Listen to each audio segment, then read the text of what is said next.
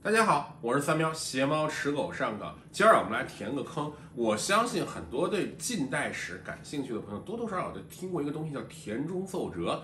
这个按照历史课本或者某些资料当中的说法，一九二七年，时任日本首相田中义一啊，在这个所谓的中国问题会议，那个会议开了所十一天，有那么五天是公开的，六天是机密的。然后这次会议开完之后呢，田中义一首相就把这次会议纪要上奏给天皇，这就是所谓的田中奏折了。在那里面有那么两句，我相信很多人都耳熟能详的话吧。叫欲征服世界，必征服中国；而欲征服中国，必征服满蒙。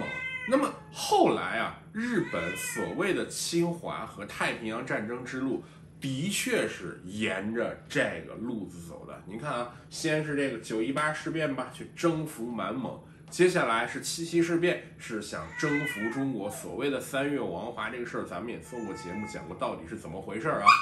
然后最后，一九四一年偷袭珍珠港，太平洋战争，那不就是欲征服世界吗？有人说，你看日本整个的侵略就是沿着这个路子走的，铁证如山，你还有什么话说？可是啊，这个经过后代的很多学者考证啊。这个奏折很大概率上，它是一个伪造的东西，就跟那个西安长老会纪要一样，那是一部伪书。这怎么回事呢？首先，这个你想想，日本首相上奏天皇的这么一个秘密奏折，最早发表是在中国的报纸上，那这怎么可能被中国人所知道呢？那这个当中啊，据说有一段特别离奇的故事，宛如小说啊。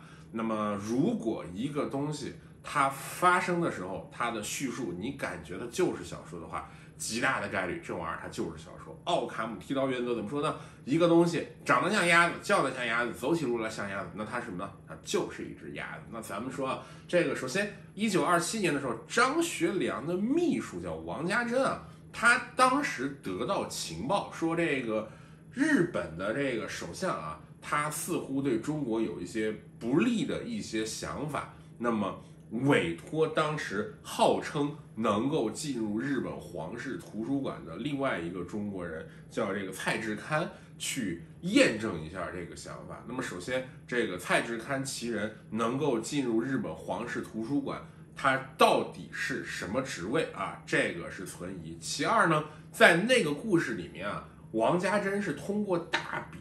就是那个我们吃那个大饼里面卷的信纸去给这个蔡志堪送信的。那么请问，如果这个东西啊，就是我只是去问询一下的话，我需要用这么机密的方式吗？总之就弄得跟谍战片儿似的啊。那么蔡志堪呢，也是征求日本当时，因为我们知道这个田中义一啊，他是日本政友会啊，那么他当时也有各种各样的反对派。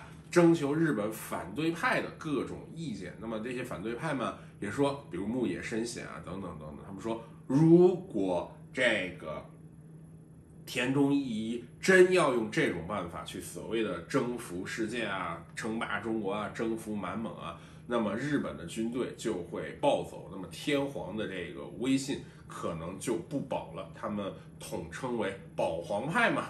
那么这个蔡志堪能够见到牧野深显伯爵这一级的人啊，这这又是一个令人存疑的点。然后说我要不要在日本的报纸上发表？那不行。然后嗯，那怎么办呢？几经讨价还价，牧野深显同意说这个蔡志堪可以去这个皇室的这个藏书处把这个东西给搞过来。然后呢，这个接下来的发展就是蔡志堪搞了一份什么？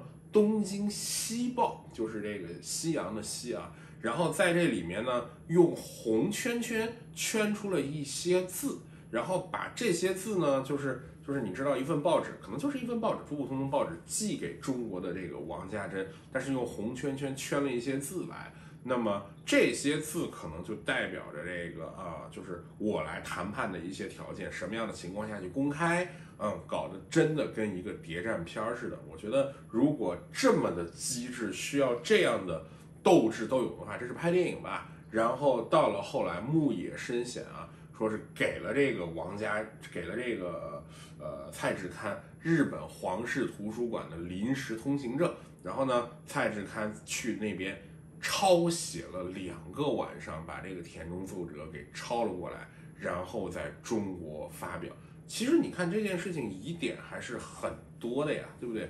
你看我刚才已经讲了，这个简直就是一个谍战片，而且你只有两个晚上的时间啊，对不对？你如何在浩如烟海的那个馆藏文献当中找到这份所谓的田中奏折，对不对？而且你这样抄写下来，就那么发表了。那么日本这边当时就指斥说，这个田中奏折，中国这边发表的是伪作啊，对吧？当然，中国这边也有很多人坚持这就是真的啊，他们也有自己的理由啊，说这个一九四五年日本不是战败了吗？战败之后，皇室的这个很多的材料都被销毁了，这是很多中国这边人的看法，此其一。然后呢，日本的确是按照这个田中奏折的想法去侵略中国、侵略世界的世界的此其二，对不对？这个你看你没话说了吧？而且你看这件事情之后，掌管皇室这个图书的很多官员被降封撤职了啊！你看铁证如山嘛。但是这个所谓的田中奏折中间的很多不一致之处，那也是有疑问的。您比如说啊，说这个先皇，也就是大正天皇。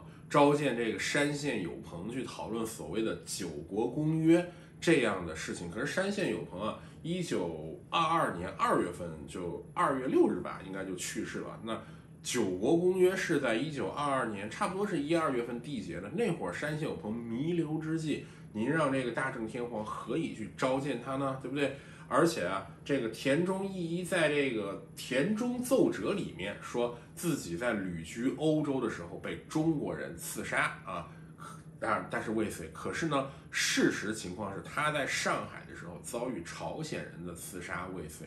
那么你想啊，这个田中义一可是这件事情的亲历者，他凭什么要把这件事情给搞错呢？这都是一些非常不可能的事情，对吧？而且啊，在战后，日本的很多左翼的学者其实也是很同情中国的，他们都不认为这个有田中奏折这个东西。凡此种种，甚至包括在二十一世纪啊，我查到的最近的资料是二零零五年的时候啊。当然，你说二零一二年之后怎么什么样，那咱也不知道，咱也不敢问啊。二零零五年的时候，中国还是有相当多的学者就很客观的觉得，这个田中奏折很大概率就是一部。伪造的文件，那有人说三彪，你如何解释这个日本欲征服世界必征服中国，欲征服中国必征服满蒙？难道日本后来不就是按照这个思路打的吗？这个要解释起来太复杂，咱们就从一点上来讲。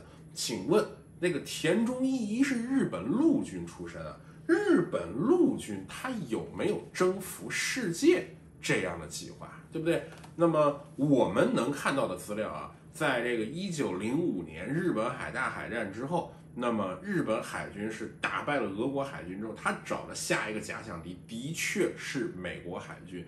那你可以认为一开始的时候啊，日本海军最早是以美国海军当假想敌，干嘛呢？要经费呢，对吧？这个美国那边有大白舰队啊，对吧？这有各种各样的战列舰，日本也要造，我们要造八八舰队。那后来就真的。就把美国的威胁当真，可以说海军是真的有同英美开战这样的一些想法，然后后来不就变成了什么九段机吗？